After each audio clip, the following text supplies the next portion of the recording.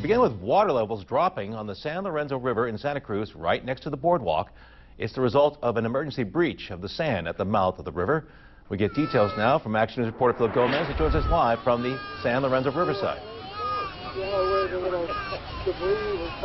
Good afternoon, Dale. Good afternoon, everyone. We're on a cliff overlooking the Santa Cruz main beach, which is near the boardwalk here. And as you can see, the water is flowing from the San Lorenzo River into the ocean.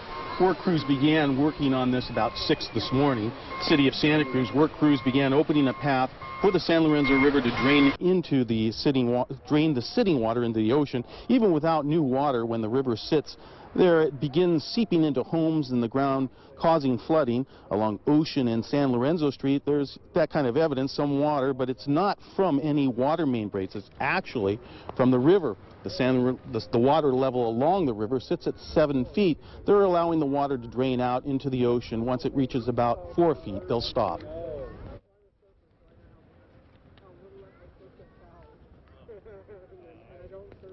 So this is to relieve uh, pressure of flooding in the nearby areas. Uh, private businesses, city infrastructure, and private homes are being flooded at this time. So we're trying to relieve that pressure and also maintain habitat for sensitive species.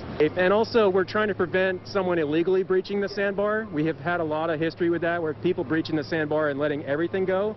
And when you do that, fish do die. So we're trying to prevent that. They've got biologists and others keeping an eye on fish like steelhead to ensure no harm comes to them while the work is going on. Biologists are keeping an eye on the steelhead and the tide water goby fish that are protected by the state. The city is looking into a long-term solution, but the results aren't expected anytime soon. They'll probably be out here most of the day making sure that this goes smoothly. In Santa Cruz, Phil Gomez, KSBW, Action News 8.